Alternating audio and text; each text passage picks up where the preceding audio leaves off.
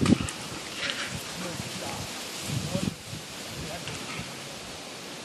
wasn't the biggest one, but you smoked that bitter.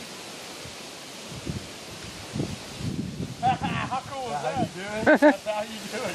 Good job.